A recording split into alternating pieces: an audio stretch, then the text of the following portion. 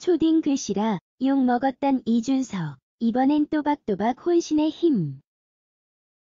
필체 논란으로 한바탕 홍역을 치른 이준석 국민의힘 대표의 사뭇 달라진 글씨체가 공개돼 관심을 끌고 있다.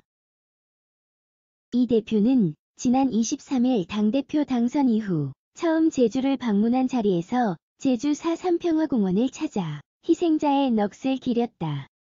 이 대표는 위패봉안실에 마련된 방명록에 다시 찾아뵈었습니다. 아픔이 완전히 치유될 때까지 더 노력하고 더 자주 찾아뵙겠습니다라고 썼다. 20여일 만에 다시 제주를 찾은 이 대표는 글씨체 논란을 의식한 듯 한 글자 한 글자 공을 들여 방명록을 썼다. 지난 4일 이 대표가 당대표 후보 시절 같은 장소에서 남긴 방명록과 비교해 더 커지고 선명해졌다. 이 대표의 글씨체 논란은 민경욱 전 미래통합당 현국민의힘 의원이 제기했다.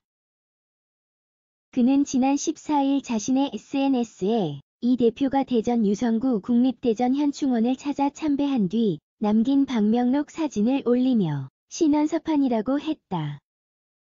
옛 선조들은 사람이 쓴 글씨로 그 사람의 됨됨이를 판단하는 세 번째 기준으로 쳤다고 설명했다. 그러면서 디지털 세대, 컴퓨터 세대들의 글씨체는 원래 다 이런가. 그렇다면 죄송하다고 비판했다. 또 이 글은 비문까지는 아니더라도 굳이 숭고한 희생의 헌신과 주체를 빼놓은 게 어딘가 모자라고 많이 어색한 문장이다. 도대체 누구의 희생을 말하는 거냐고 지적했다.